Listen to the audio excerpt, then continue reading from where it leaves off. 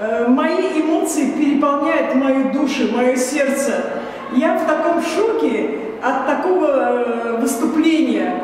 Э, можно сказать, это высокопрофессиональный коллектив.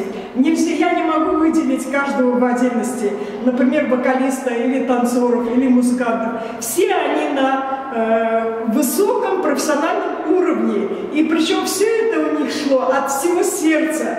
Такой темперамент замечательный. Просто вот один лучше другого. И что вокалисты, у них э, такие голоса, э, что такими голосами могут обладать тоже, э, только люди, которые живут э, в чистом горном э, месте, с хорошей природой, с хорошим, э, как вам сказать, с любовью к своей родине, к своей земле. Это все чувствовалось в их исполнении.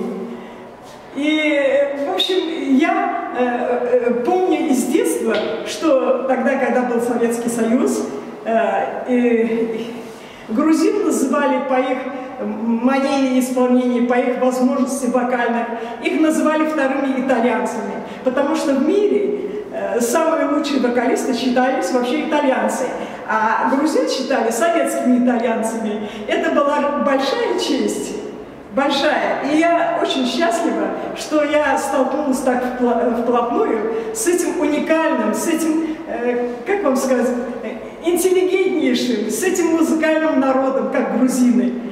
Это очень большое счастье, что мы за, большой, за такой большой срок мы э, впервые столкнулись снова вот с таким профессиональным искусством, которое идет от чистой души. Это самые лучшие соседи по Закавказью, грузины.